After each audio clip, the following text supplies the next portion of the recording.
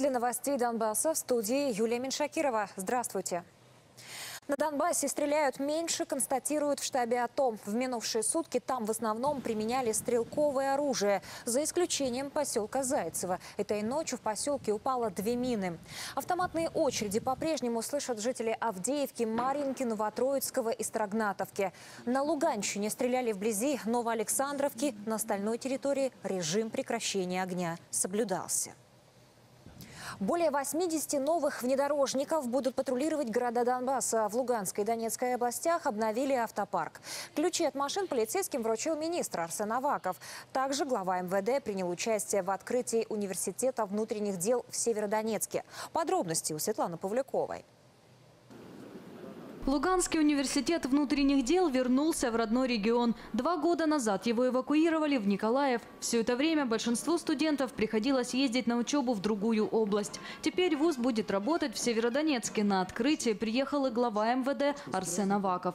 Нам говорят, надо включить символический ключ, да? Выключаем. Спасибо. А полицейским Луганщины министр подарил 34 внедорожника. Это не автомобили для патрульной службы. Это автомобили для э, других подразделений полиции. Потому что полиция не работает отдельно, патрульные отдельно следователи. Это конгломерат, который должен давать эффективную работу. Мы даем каждой службе чуть-чуть, э, службе криминального розыска, следствию и так дальше, и по райотделам. Правоохранителям Донецкой области глава МВД вручил 52 французских автомобиля «Рено». Министр призвал полицейских относиться к машинам бережно, но успокоил. Количество ДТП с участием служебных авто сейчас ниже, чем было до реформирования и ниже, чем в других странах. А в целом в Украине бьется меньше машин, чем в полиции США. Поэтому учиться ездить надо быстро и сохранять машины, но на провокации не поддаваться. Полицейские говорят, автомобили экономичные, мощные, способны проехать по любому бездорожью. Все машины оснащены рациями и спецсигналами. коробка меха механика, не автомат. Все это как, как то, что нужно так сказать, для работы полицейского. В принципе, радиостанция, которая установлена чуть ниже. Дизельные внедорожники отправятся во все крупные города Донецкой области – Торецк, Покровск, Мариуполь, Славянск и другие. Также министр внутренних дел пообещал полицейским еще один подарок. Сотрудникам уголовного розыска повысят зарплату в два раза. Светлана Павлякова, телеканал «Донбасс». Смертельное ДТП в Мариуполе. Инвалиды-колясочника сбили сразу два автомобиля. По словам очевидцев, мужчина передвигался по центру дороги без опознавательных знаков. Полицейских на место аварии вызвали сами водители. Говорят, трагедия произошла из-за плохого освещения улицы. Я не видел его. Автомобиль «Фиат», который двигался со стороны Донецка в центр э, города по проспекту Карпова, совершил столкновение э, с инвалидом, который был на инвалидной коляске, вследствие чего э, данного инвалида откинуло на встречную проезжую часть, где на него также был совершен наезд автомобилем «Опель». Плантация марихуаны во дворе частного дома. Житель Краматорска выращивал в теплице разные сорта конопли. Во время обыска сотрудники СБУ изъяли множество кустов растений и около 4 килограммов готового каннабиса. Агроному-любителю грозит до трех лет тюрьмы. Самые красивые девушки Украины приехали в Авдеевку. Победительницы национального конкурса красоты побывали в городском обществе инвалидов. Девушки встретились с детьми с особенными потребностями и подарили им сувениры. Воспитанники центра показали гостям концерт. С удовольствием делали совместное селфи. Идея пригласить в город модели принадлежит генеральному директору коксохимического завода. Таким образом, Муса Магомедов хочет показать всей стране, что Авдеевка вовсе не полузабытый прифронтовой населенный пункт. И они знали, что у нас происходит здесь, всегда там, сопереживали. И только возникла ситуация, когда там, перемирие с 15 числа, они сказали, давай пусть девчонки к вам приедут. Как бы, и тем более они сами проявили большое-большое желание приехать. Есть проблемы с людьми, э, детей, инвалидов, есть проблемы там, с ограниченными возможностями людьми. И э, мы хотели на это обратить внимание там, ну, всего общества, для этого пригласили. Многие боятся, да, наверное, это и правильно, потому что э, в жизни все должно быть э, спланировано. Мы планировали эту встречу, мы э, шли к ней, и поэтому, когда пришел этот день, я была уверена, что все будет хорошо, наша поездка удастся, и мы сумеем подарить детям частичку нашего тепла, и нашей любви.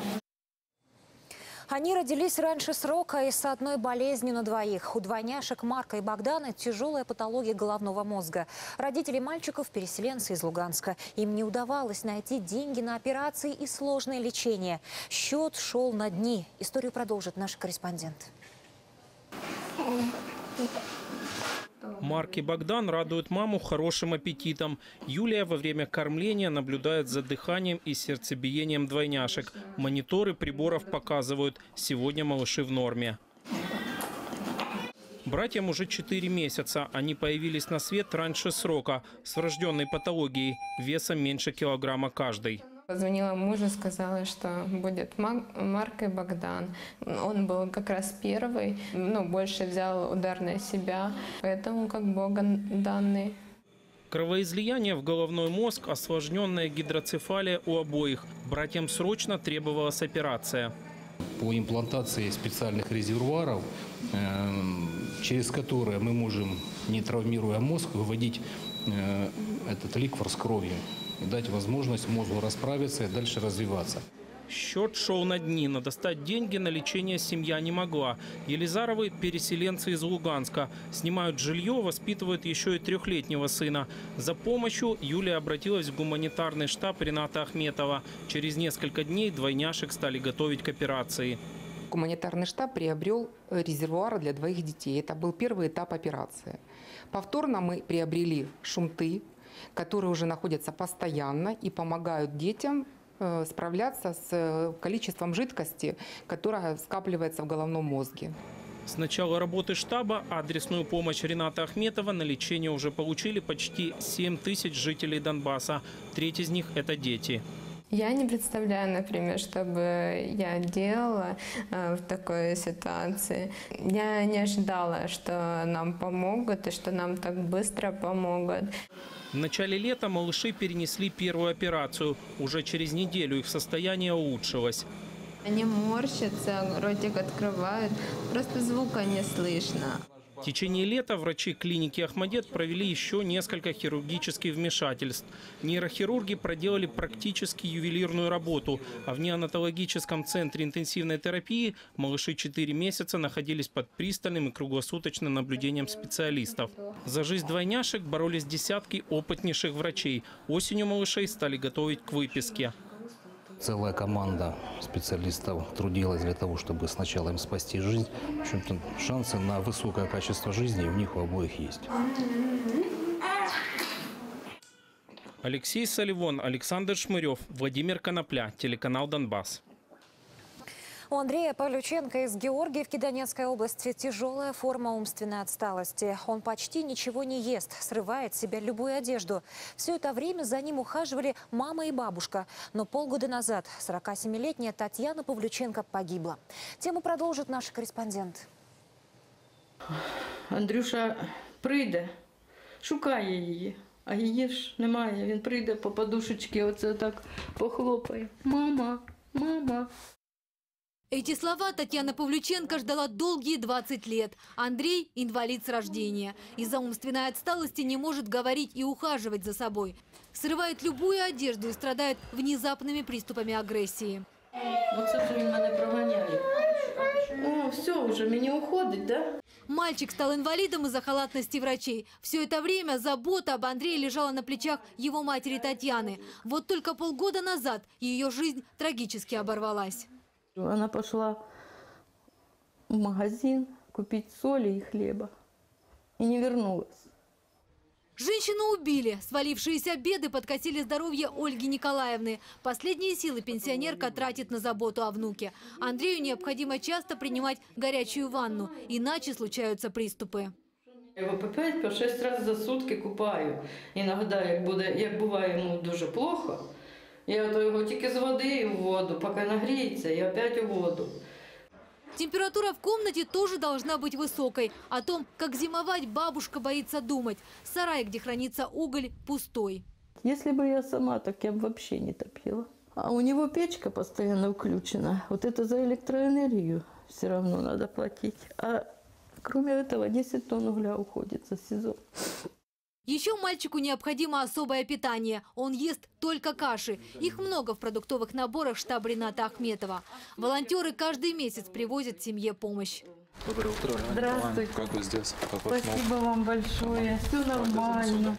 Продукты из набора сразу идут на стол. Внук Ольга Николаевна приготовит кашу. Себе жарит хлебные лепешки. Мука дуже хороша. Мені дуже нравиться цей хлібушок із вашої муки. Почти год эта семья под особой опекой штаба Рената Ахметова. Угля сколько дали, продуктов сколько, Андрюша, медикаментов у меня еще на полгода хватит. Я сколько буду жить, буду молиться за Рената Леонидовича. Только он, один единственный, помог нам за 20 лет. Один Ренат Леонидович. Гуманитарный штаб помогает старикам, детям, инвалидам по обе стороны линии соприкосновения. Направлений работы несколько. Это выдача продуктовых наборов, помощь на приобретение медикаментов для лечения и проведения операций, реабилитация раненых на Донбассе детей. За все время существования штаба спасено более миллиона жизней. Татьяна Блинова, Оксана Корчма, Владимир Конопля, телеканал «Донбасс». Украинские паралимпийцы вернулись на родину. Среди спортсменов, которые завоевали рекордное количество медалей, паралимпийцы из Донецкой области. Подробнее об их победах в летних играх расскажет Юлия Шкваренко.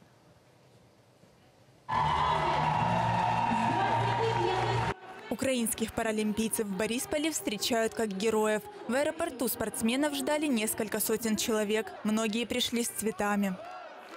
Вообще шикарно, просто, просто много эмоций переполняет. Хорошо, рады, что дома уже, дом есть дом. Усталость как рукой сняла. Спасибо вам, что встречаете так радостно нас.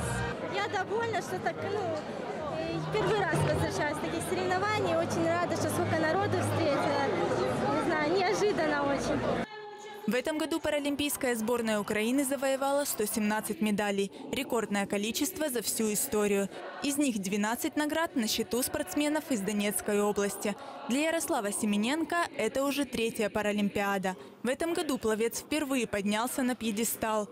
Бронзу завоевал на дистанции 100 метров на спине. Моя победа как бы вдохновила, и я очень работал для нее, чтобы быть в призах.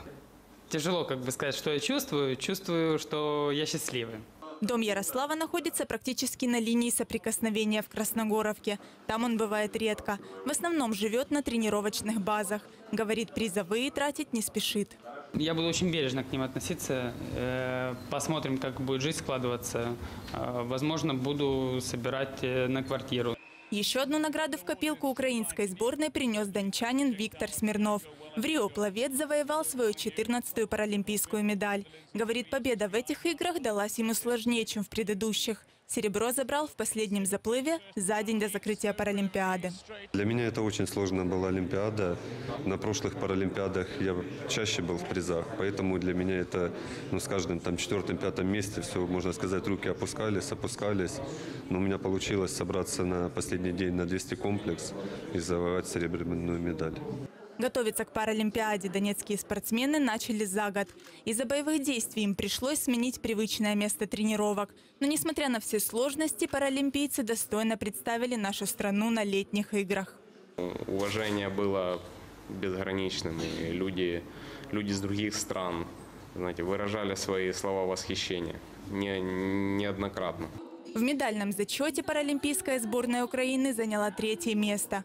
Юлия Шкваренко, телеканал «Донбасс».